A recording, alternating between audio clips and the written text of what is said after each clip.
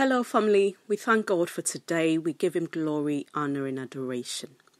Yesterday, the word that I brought was about um, how the Lord says, um, or we were to take note of the fact that the results of faith may span a long period of time. Unfortunately, because I try to do these podcasts so that it doesn't exceed a certain amount of time, I was not able to share a few things that I think is really, really important that we bear in mind as far as that particular topic is concerned. So today I want to carry on with what I, I started sharing yesterday as far as the results of faith is concerned. Um, just to recap, yesterday I had mentioned about how there are times when we would have to wait, even from the time that God may give us a word that we need to hold on in faith until the fulfillment of that word. And that word may take a long period of time. And what we what we need to do in those moments is to continually carry on holding on in faith, irrespective of what the time frame might um, look like or might be. But in terms of the results of faith, what are some of the results of faith that we can think of in Scripture? So we know that in Noah's case, it was that because he held on to the promise of God and obeyed God as a result of his faith, he, his wife, his sons, and his sons' wives, and all the creatures that had gone into the ark with him, their lives were spared. I cannot begin to imagine the emotions they would have had the very day that they came out of the ark, knowing that because of his faith in God, his life and the lives of his sons and his son's wife, his wife inclusive, had been spared. That in all the earth, this vast earth that was um, before them, belonged to them. They were they and the creatures that had come from the ark were the only ones who had survived the destruction of the earth. Just think or put yourself in that picture. How overwhelmed they would have been. One, the fact that they had left this earth and when they were leaving it, it was full of people, family, friends, loved ones, haters inclusive and then they come back to something new that they'd never seen in their life before. It must have been a, a situation where it would have been full of mixed emotions because they would have lo- lost loved ones.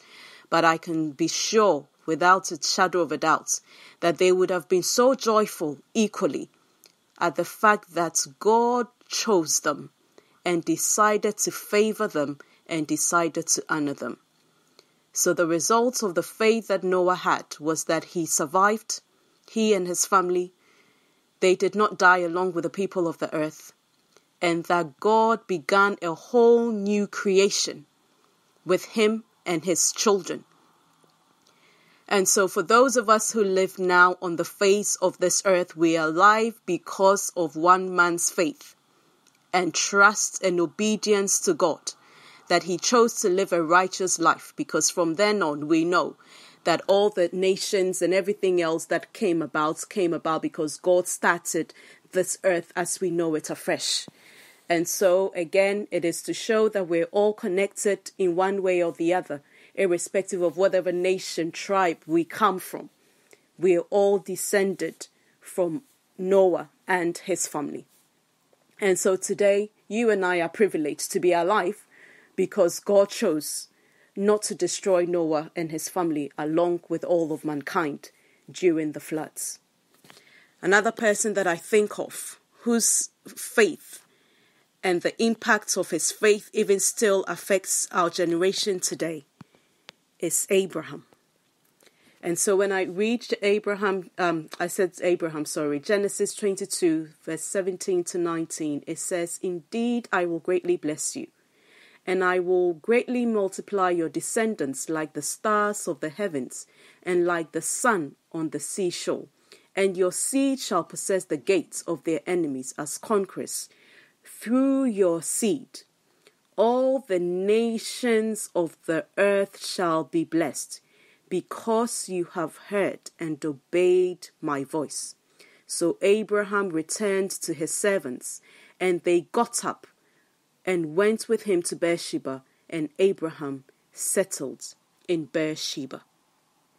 This is the promise that God gave to Abraham after he had obeyed the word of the Lord that had come to him, which was that he was to offer up his only begotten son, his only son, Isaac, the very son that God had said to Abraham he would use to cause him to become the father of many nations. Because of his faith and absolute trust in God's goodness, his love, his kindness, he did not withhold the son. And as the Lord God Almighty asked him, commanded him to stop, just as he was about to lift that knife and to offer up Isaac, the scripture I read is the blessing that God pronounced concerning Abraham. And so, even when we go to Acts chapter 3, verse 24 to verse 25, it says, Indeed, all the prophets who have spoken, from Samuel and those who came after him, also announced these days. You are the sons, descendants of the prophets, and heirs of the covenant which God made with your father, saying to Abraham, And in your seed, descendants, all the families of the earth shall be blessed. I will read verse 26 as well. It says, It was for you first of all that God raised up his servant and son Jesus and sent him to bless you by turning every one of you from your wicked ways. So God had pronounced a blessing upon Abraham, told him that he would make him his descendants many, they will be very numerous. And we know, even to this day, that there are so many other nations who trace their descent to Abraham. And so, even to this day, the fulfillment of God and the covenant he made with Abraham is being fulfilled. And it is interesting also to note that when God said to him that in your seed all the families of the earth shall be blessed, God had an even bigger picture, a bigger honor that he wanted to bestow upon Abraham, all because he walked in faith and trusted God when it seemed as if what God had said he will do was impossible. And so when we think about the genealogy of Jesus, which we find in Matthew chapter 1, from verse 2, it starts off by letting us know that Abraham was the father of Isaac, Isaac the father of Jacob, and Jacob the father of Judah and his brothers, who became the twelve tribes of Israel. Judah was the father of Perez and Zerah by Tamar. Perez was the father of Hezron, and Hezron the father of Ram. Ram was the father of Abin- Aminadab, Aminadab the father of Nahshon, and Nahshon the father of Salmon. Salmon was the father of Boaz by Rahab. Boaz was the father of Obed by Ruth, and Obed the father of Jesse. Jesse was the father of David the king. David was the father of Solomon by Bathsheba, who had been the wife of Uriah. Verse 7. Solomon was the father of Rehoboam, Rehoboam the father of Abijah, and Abijah the father of Asa. Asa was the father of Jehoshaphat, Jehoshaphat the father of Joram, and Joram the father of Uzziah. Uzziah was the father of Jotham, Jotham the father of Ahaz, and Ahaz the father of Hezekiah. Hezekiah was the father of Manasseh, Manasseh the father of Amon, and Amon the father of Josiah. Josiah became the father of Jeconiah, also called Coniah and Jehoiakim, and his brothers at the time of the deportation exile to Babylon. After the deportation to Babylon, Jeconiah became the father of Shealtiel, and Shealtiel the father of Zerubbabel. Zerubbabel was the father of Abihud, Abihud the father of Eliakim, and Eliakim the father of Azor. Azor was the father of Zadok, Zadok the father of Achim, and Achim the father of Eliud. Eliud was the father of Eleazar, Eleazar the father of Matthan, and Matthan the father of Jacob. Jacob was the father of Joseph, the husband of Mary, by whom Jesus was born, who is called the Messiah, Christ. So, because of his faith, his confident trust that God, who had given him the promise, was more than able, and in, he decided not to look on his own frail body, neither did Sarah. Because of that act, to this day, the results of the faith of Abraham speaks in your life and speaks in my life because he is one from whom Jesus descended. David was a man of faith who also was a descendant of Abraham. And the story and the genealogy goes on to let us know that maybe when um, Abraham at the time was even trusting God, all he probably wanted, and we know that all he had asked God for was a child. He just wanted somebody who would inherit him. But because he had faith in assurance in God, believing God, having confidence of the things that his physical senses could not see, God chose him and honored him by causing him to become an ancestor of our Lord and Savior Jesus Christ, thereby fulfilling what God said to him that in your seed will all the nations of the earth be blessed. Because of Jesus, you and I are blessed. Because of Jesus, you and I have a salvation.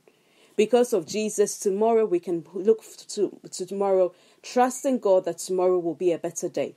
We can have hope for tomorrow because of Jesus Christ. And Jesus Christ, praise God, demonstrates to you and I that God is indeed a God who is faithful to his promise, that any promise he makes, no matter how long that promise takes, it will be fulfilled because the word of the Lord is true.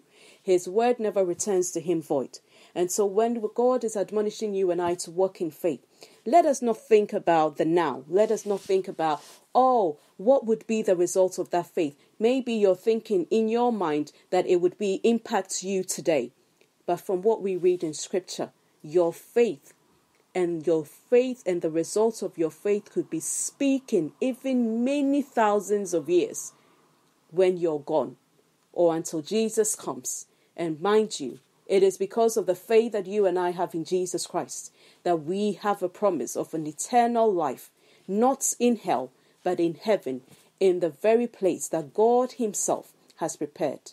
So let us know that when we're going through the challenges of life and we're being told to hold on in faith, to press on in faith, let us know that a great reward awaits us because of He in whom we have believed, not in the arm of the flesh, not in man's wisdom or counsel, but in the wisdom and in the counsel of God. So today I'm going to go over our memory verse which is Matthew 21 22. And whatever you ask for in prayer, believing you will receive. The Lord give you the grace to be persistent in prayer, to be faithful in prayer, and to have relentless faith when you pray, because He has told us that whatever we ask in prayer, believing, we will receive. And he has also told us from previous memory verses we've looked at that so long as it is the will of God, whatever it is that we're asking for, it will be given to us. The Lord bless you, the Lord keep you, cause his face to shine upon you, and be gracious to you. And I look forward to sharing with you tomorrow. Be blessed in Jesus' name. Amen.